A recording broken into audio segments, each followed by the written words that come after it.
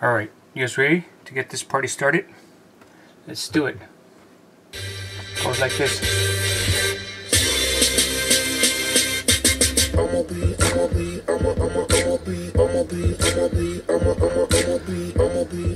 So today I'm going to be explaining the improper integrals.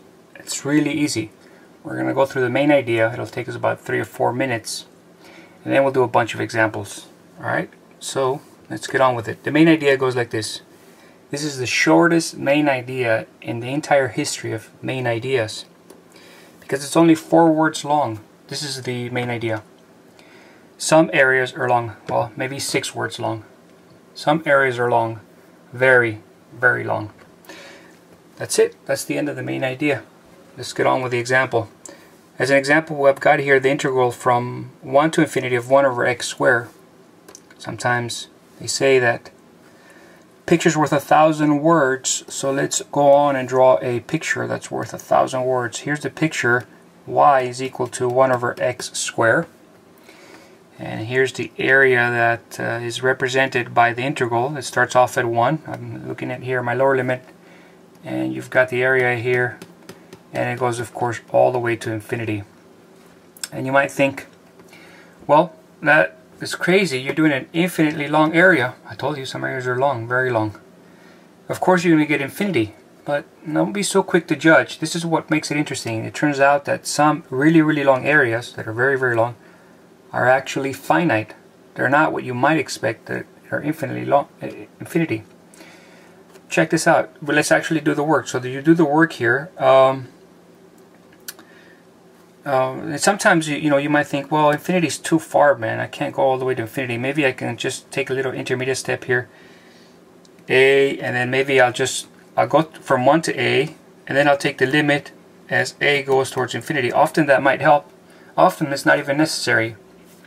And I'll tell you when, often you can just do it all at once. And I'll tell you when you can do one or the other in just a second.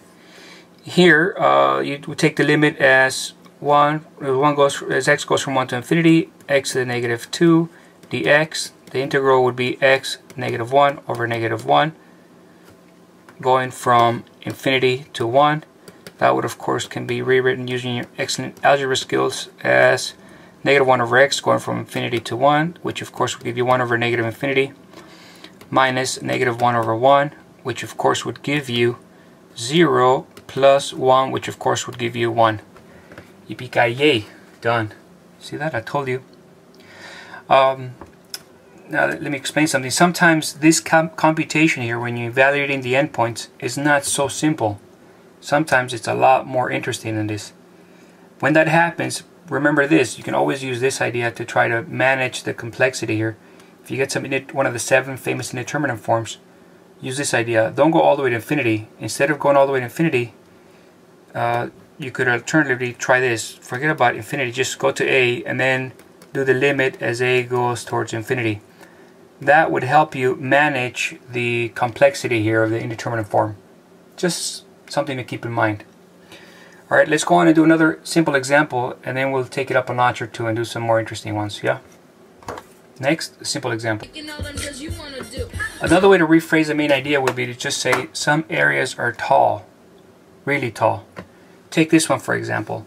If I was to make a picture of it, the picture would go something like this. It would go like this. I've got the absolute value of x. As x gets really, really close around zero, they become really, really, the quotient becomes really tall. So it would look something like this. Same thing on the other side because it's symmetric. The absolute value would make it look the same on one side or the other. And we're attempting to find the area from negative 1 all the way to 0 on this side. And also from positive 1 all the way to uh, 0. 0 on that side. And here's the exactly the main idea illustrated again. Some areas are very, very, very tall. You might be concerned that that this is getting really, really, really tall, and so maybe the area that fits in this little wedge here is infinite. And same thing on the other side. Maybe, maybe not. The thing that makes this interesting is that sometimes tall areas are finite, even if they're infinitely tall, because they get thin so much. They get so thin as they grow up, as they grow taller, that uh, the area becomes negligible at some point.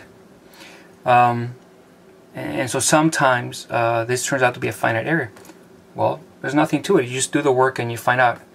Uh, here, again, uh, because we can use the symmetry of the graph, maybe it's just easier if we compute this integral. We'll find this area, and whatever it is, we're going to assume that the left one is doing exactly exactly the same thing because they're symmetric.